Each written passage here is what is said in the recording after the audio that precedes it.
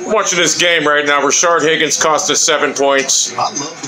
So we'd be up 21 17 right now. And Jarvis Landry fumbled the fucking ball because he's a fucking retard with one hand. And Greg Williams' defense. There's so many underlying factors why we're losing this game. Number one, Greg Williams' defense is fucking soft as hell. Look at this, this. Look at this kid.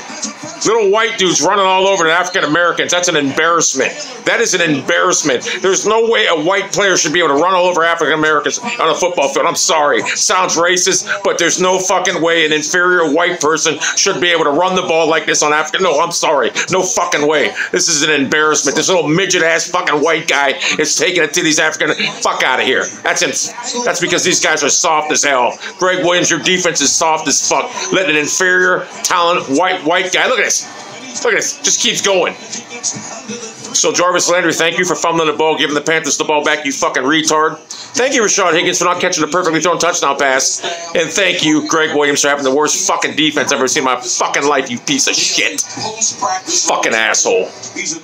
Inferior white guy running all over African Americans. Pathetic. Pathetic. They're superior athletes. They should be knocking this kid backwards. Again, he gets touchdown. Look at that. No heart. No fucking heart. No fucking heart. Doesn't flag down, holding, bring it back. Doesn't fucking matter. They'll score anyway.